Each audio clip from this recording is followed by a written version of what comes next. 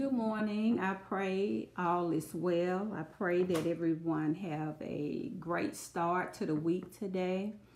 I want to talk about um, something that I saw yesterday when I logged on to YouTube. I've been off of social media for a while and I just decided to come back on yesterday. So what's being talked about is um, Kirk Franklin's conversation with his son and how he you know how he was communicating with his son who was a 30 something year old man.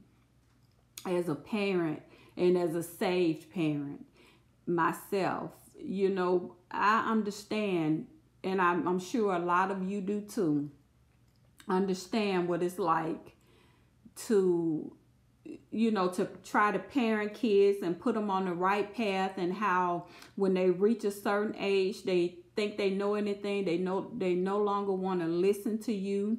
Sometimes they get disrespectful and they get out of line. And i know as well as some of you know nothing can pull us out of character like our family. That could be um, you know, children, siblings, parents, whoever. Because family, they just have a way. They just have a way of taking you to a place that you never thought you would go again. They have a way of taking you there. And that's that's true. And a lot of us who are saved, you know, we we can get on these pedestals if we want to and try to look down on this brother and judge him knowing that we ourselves if we haven't already, we surely are capable of of um, getting angry and doing and saying probably worse than he said and done. And that's just the truth. You know, none of us are perfect. All sin and fall short of the glory of God.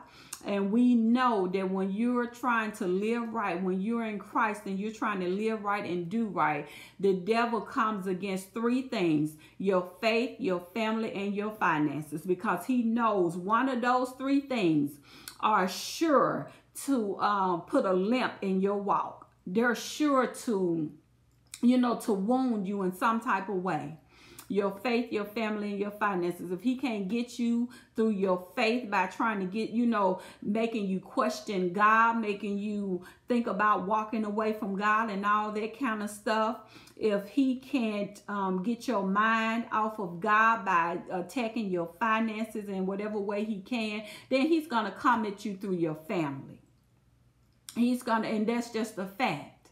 That's a fact. So I'm not to, I'm not standing in judgment. I'm to stand in the gap. I'm to pray. I'm to pray that um, God will work things out in their favor, that there will be reconciliation if that's possible, you know, that there will be forgiveness and that they can move on from this because we all go through things. We all go through things with our families. I'm a living witness.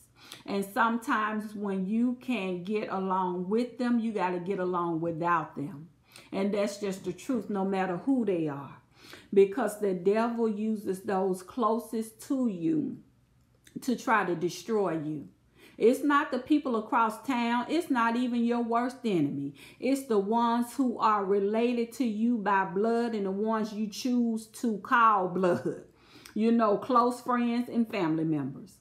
There, there's a reason when when um, things happen to people that the the investigation starts first with family and friends because it's usually family and friends who are the um, who are the culprits in the demise of the person or the downfall of the person. So I'm just going to stand in the gap for prayer. I'm going to pray that um, God will work it out for their good whatever it is that's going on. Because as a parent myself, you know, it, it parenting is one of the hardest jobs you will ever have. It really is. It's, it's not easy. It's difficult. And when these kids grow up and have their own kids, they'll understand that. But I was saying in the other video that I had to delete because I couldn't figure out how to restore my sound um, a lot of times we overindulge our children. We try to give them things we never had. We try to give them the life that we wanted and never got. And in the process, we overindulge them, we spoil them. You know, we don't want them to go through anything. And truth be told, if they were allowed to go through even a tenth of the things we went through as kids, some of them would be better people because they would understand what struggle is. They would understand what it's like being in a family that tries to devour you and you you, you know you got to be tough to survive in your own family. You know, but we, we shelter them. We we try to protect them from every little thing you know they they'll go through things of course they you know they never tell us everything they go through coming up and they'll go through things. We'll never be able to protect them from everything. But we have to let these kids live. We have to let them learn. You know we've done our jobs. We've raised them. The bible said train them up in the way that they should go. And when they're older they won't depart from it. But we know that sometimes they do depart. And that's where prayer comes in. We can't force these kids to live, you know, to do what's best for them, to live a life that's to be productive and fruitful for, the, for them. Because when they reach a certain age, now we don't know anything. You know, as if we were never young before, as if we were never dumb before you know you you grow up and you go through things and you you live and you learn so I've taken that approach with mine. I, I, you know, when they, my son first left home, I was so um, nervous for him because I'm like, oh my gosh, you know, he really hasn't, the, the boy had never had a job. He didn't have to. You know, my husband wanted him to work and I did too, but that's not something that he wanted to do. So we we didn't push it. We didn't force him. He had two cars. You know, we had bought the boy two cars by the time he was um, 16. So and even with my daughter too, her first car was was our old Lexus. So we we spoil our kids, and of course they'll always find some area, you know, or some something to oh you didn't do this for me or you didn't and that's with every i don't care who you are you can be the best parent in the world you know and, and your kid would always find something that you didn't do for them or something that you could have done better for them. That's it. You know but uh, with me i feel no regrets for how i raised my kids. I disciplined them. I did not spare the rod. You know, I disciplined them and I also showered gifts and, and love and things. I, I tried to give them what I never had and always wanted. And in the process, when we do that, we sometimes create, you know, ungrateful children, ungrateful, entitled children. You know, so gosh, um, me and this, you know, I'm going to cut that. You know, I'm working on that. But um, these kids, honey, it's a different generation. It's a it's a different generation these days. It really is. But as long as you've done your job, you've trained them up in the way that you should they should go, you've protected them, you provided shelter, you you provided food, clothing, finances and everything else that they needed. Once they get out on their own, their life is their own. Now, pardon me, now we only act as counselors. We act as comforters. We act as um, encouragers. You know, we're there for them, but their life is theirs. And I, what I really hate is when people blame the parent for adult children the mistakes they make. You it, no, don't do that. Don't do that. That uh, at a certain age, you develop your own mind, your own personality, your own will. You're an adult. You do what you want to do.